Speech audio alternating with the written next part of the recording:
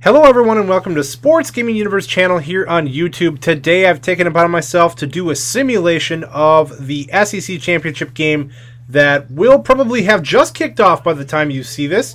And it is Georgia against Alabama to see who wins the SEC Championship and will play Notre Dame in the BCS Championship game for the national championship for all the marbles. And here we go. So I've set this up for Georgia and Alabama to take each other on in NCAA 13 to give us some kind of idea what to expect when it's simmed out. Now, this is computer versus computer. I'm not playing either side. As you see by the spectator cam, Alabama scores first with a field goal, 3 0. And then Alabama's D absolutely stuffs Georgia on the run there. It's a turnover on fourth down, third and 14 of their own, and it's a big time sack for Georgia getting in there and disrupting McCarron from throwing the ball. There's a nice blitz right there by the Bulldogs. So they're trying to hang in this game, only down 3 nothing. I say only, but McCarron is about to strike. Wide open wide receiver down the sideline. Touchdown. There wasn't a Bulldog within 10 yards of Bell flying down the field there. Roll Tide, Alabama fans are loving the 10 0 lead here. You see the replay, McCarron to Bell, and it's a touchdown, and it's an easy one. 10 0 lead, Alabama. Do they roll on over Georgia from this point? Well, they're looking for more. Third and three. Pitch to the outside. Georgia not fooled. They stack the play up. They hold Alabama to a field goal attempt, and it's now 13 0. Georgia Aaron Murray having a tough day with three interceptions, uh, tough day to say the least. So third and two, he's going up top, trying to change their fortunes one on one. Great catch down the sideline, and all of a sudden Georgia finds a spark on offense.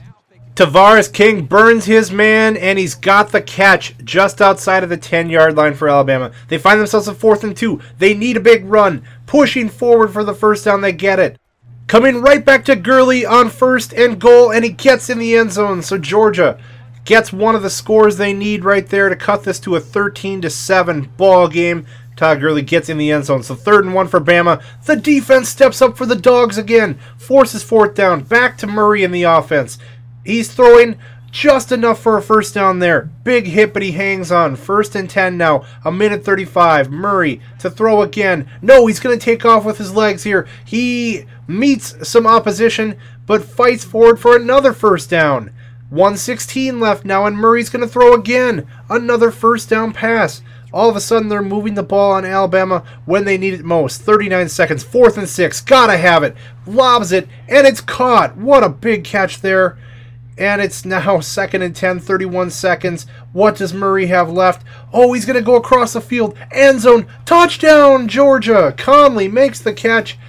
And they've got a tie ball game with an extra point to take the lead. You see him calling for the pass. He makes the catch, gets the feed in, and it's touchdown Georgia. They've stormed back with two scores of their own.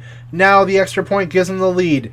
Eight play, 55 yard drive. Just a little bit of time for Alabama 23 seconds to be exact. McCarron looking to throw. He's finally going to do so, but it's picked off. Georgia picks the pass off, going the other way. Does he reach the end zone? McCarron tries to push him up, but they say touchdown. He bowls over the pylon, and you see the play here. Reading it, making the pick, all the way back to the house. Georgia's defense gets it done, and there you go. Georgia about to finish things off. One more play for Alabama. McCarron on fourth and 12. Going to heave it up. It's going to be a jump ball at the 24 yard line. Nope, knocked down, and Alabama loses the game to Georgia. They come back after being down 13 and win 21 13. So that's how my simulation went. This was computer versus computer. I want to know what you think today's outcome is going to be. Is it going to be Alabama? Is it going to be Georgia? Who's going to face off with Notre Dame? In the BCS championship game. Leave your thoughts down in the comments below. Should be a great game. Grab your popcorn. It should be exciting from start to finish.